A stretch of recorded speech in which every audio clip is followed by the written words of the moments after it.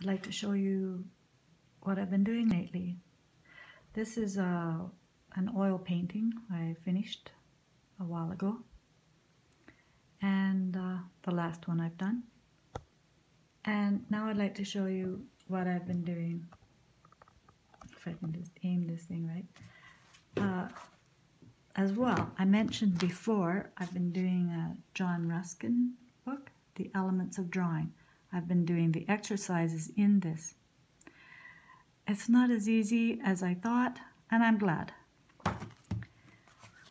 I have a, a, a beautiful Etchr Lab watercolor book to, to work in, but I'm saving it for a reward for myself when I finish these exercises. At least that's the plan. So in the meantime, I've been using this watercolor book I've made with uh, some really inferior watercolor paper. I, I put it together as I showed in one of my previous videos and it's a successful thing except I next time I will do uh, uh, a cover on put a cover on front and back because that protects it better. I didn't. When I made this, I just took some, cut up some garbagey watercolor pads, uh, sketch pads, and um, to make them more handleable in size. And I, I thought this will be a good thing to use up just for these exercises. Now it doesn't, it isn't apparent when you look at this what that I've actually done anything. it's really basic, but it's all about control. Um, this is pretty basic, just with a pencil and with uh, an ink pen. And then these are just, this is not about drawing ability, it's just about the control of the pen.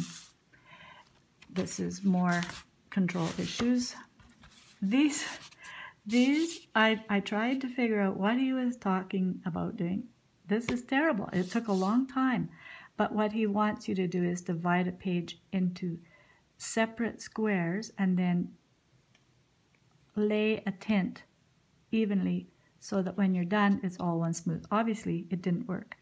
And then to here, the idea was to learn to lay a wash and have all your your colors your the value scales equal so that if you have all your two value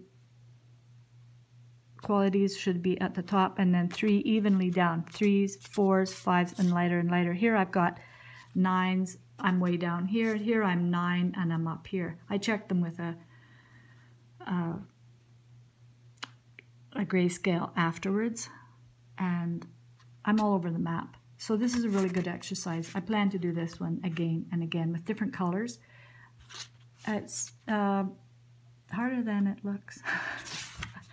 and then he talks about drawing tenderly and coloring quietly.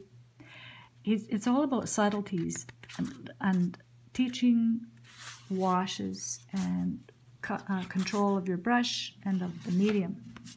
This is more of the same. But you see, my darks are fading out at different places along the lines.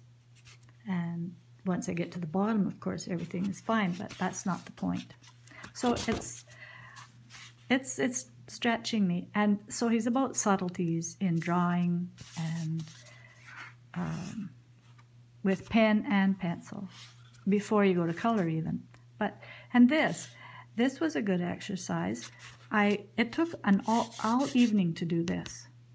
You take a, a brush, fill it with color, and make a few strokes, and then as it goes dry, you make more strokes, leaving white areas. Then you go back, getting a small amount of color on your brush, and filling in what he calls the interstices, the spaces in between where you didn't get the paint.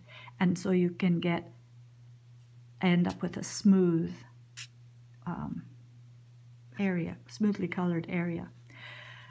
And as I did this snail again and again, of course, it gets better as I learn. This was an idea, it wasn't really in there, but I, I took an idea that he had and I amplified it. So I thought rather than just drawing the snail again and again, I will um, try to draw the reflection. That adds a new twist and a little bit more of a, of a test to what I'm doing. This was also a, an interesting idea. I I know that it's easier to learn to draw trees in the winter when there's no there are no leaves, but um, he suggests bringing in a branch and learning to draw. He says when you can draw the armpits. Yeah, that's right. So that was a good um, practice, a, a, good exercise. He also says if you can draw a round stone, I chose a, snare, a shell. If you can draw the round of a properly of uh, of a stone, you can draw the round of a hill and the round of a bush. These are just. this was more. It it started just being trying to get even washes as before and filling in the interstices. Then I just inked over them. Here, and, and the interesting thing to me is uh, because this book is just text, I have a hard time understanding exactly what he's trying to teach. And I watched a fellow online called Shoo Rayner.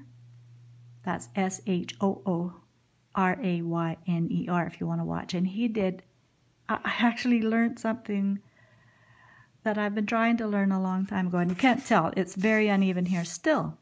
But I'm, he suggests making a well, using a well to put your wash in. I've heard that before, but I never really understood why. And he says that if you leave the pigment, let the pigment settle to the bottom, the grainier pigment fragments or uh, particles, then you just lift off the top and spread what's on the top, which is colored water. You have a better time of trying to. So then you, I would have done, according to John Ruskin, I would do this one, this one, this one, this one, the alternate ones, squares, and then when those are drier, go and do the other alternate squares, turning it over and doing it upside down. And I need to put some more coats on here. The idea is that it's supposed to be, you're not supposed to have these lines here. And these little blotches aren't supposed to be here either. It's really exacting. I, I had no idea. Always when I've done watercolor before, it's just a matter of hoping that it lands where it goes. And it's that's not that's not the ideal. It helps, I must say, it helps that I have a really good brush. This is a Da Vinci brush. I wanted a Raphael. That's, in my mind, that's um, the ultimate. but this one's really good. And so it, it gives me some control. That also tells me that if I switch to really good paper, I'll have an easier time of it as well. But I want to use up my garbage paper with these exercises that are really just about um, control. So that's what I've been working on lately. And I'll see what it's like when I'm finished. Hopefully I'll have some skill with watercolor. In the meantime, I'm still working on oils and I find them a lot easier. It's a, a lot less exacting to do that. So I'll talk to you again. Bye.